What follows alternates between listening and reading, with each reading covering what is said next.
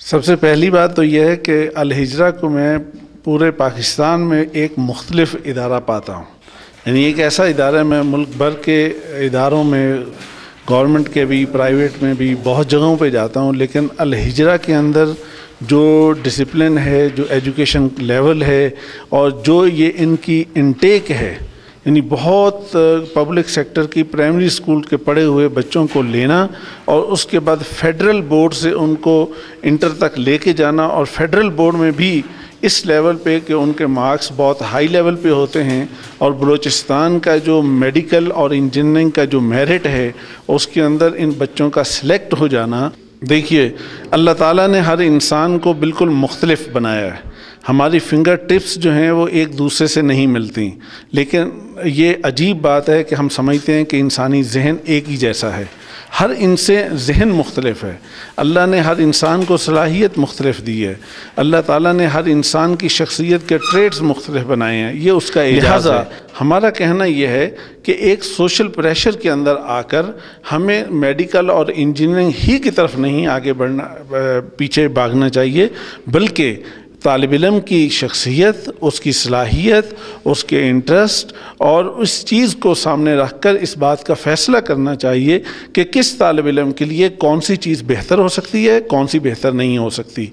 एजुविजन ने बुनियादी तौर पर इसी काम को किया है कि पाकिस्तान भर के अंदर ये वाद इदारा है जो इस काम को लेकर चल रहा है कि जिसके नतीजे में पाकिस्तान के बच्चों को ये गाइडेंस दे रहा है और उनकी असेसमेंट करके साइंटिफिकली साइंटिफिक बेसिस पे उनको गाइड करता है कि आपके लिए कौन सी चीज़ बेहतर हो सकती है। सबसे पहले इस स्टेप से पहले तो मैंने ये डिसाइड किया था कि मैं जो है मेडिकल उठाऊँगा, क्योंकि मेरे मैथ में इतना ज़्यादा अच्छा नहीं था।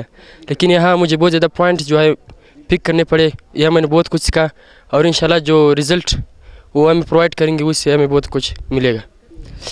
जो एजुकेशन का टेस्ट है, इसमें तो मुख्तलिफ़ पहलू को देख कर हमें टेस्ट लिए जाते हैं और इस टेस्ट को देख कर वो हमारे जो करियर है, ये जो साठ साल ज़िंदगी है, उसके बारे में बताते हैं कि आप क्या कर सकते हो और तुम में क्या सलाहियत छुपी हुई। तो उसके बारे में बताते हैं। तो हम, हमारे लिए अच्छा है कि हम उसकी बातों पर अमल करें, क्योंकि वो हमारी ही बातों को लेकर हम, हमारा रिज़ल्ट दे देता है। अल्हम्दुलिल्लाह, अलीजरा स्कूल और गवर्नमेंट स्कूल में बहुत फ़र्क है। यहाँ पे जो है सिर्फ़ तालीमी माहौल ही होता है। गवर्नमेंट स्कूल में जो है, इसके बाद जो है, बच्चे जब स्कूल से फारिग होते हैं तो वो घरों में जाते हैं और फिर उनको कुछ पता नहीं कि हमारे काफिया किताबें कहाँ हैं। यहाँ जो है, बच्चे सिर्फ़ अपनी तालीम मतलब तालीम पर तोजह देते हैं और सिर्फ़ ही पढ़ते हैं। गवर्नमेंट के स्कूलों और अलीजरा की एजुकेशन का तरीक़ाकार जो है, बहुत बड़ा फ़र्क है उसमें। क्योंकि इसमें जो है, चौबीस घंटे टीचर जो हैं, बच्चों के साथ रहते हैं और उसमें बच्चे जो हैं दिन रात अपनी मेहनत और इस की मेहनत मेहनत के साथ मेहनत करते रहते हैं और इससे अच्छे रिज़ल्ट अखज़ किया जा सकता है। और गवर्नमेंट स्कूलों में जो टीचर्स होते हैं, एक दिन टीचर्स होते हैं, स्टूडेंट नहीं होते या एक दिन टीचर, स्टूडेंट होते हैं, टीचर्स नहीं होते यही सबसे बड़ा मसला है, इसी वजह से जो गवर्नमेंट हालात है या स्कूलों का, इसी वजह से तबाह बर्बाद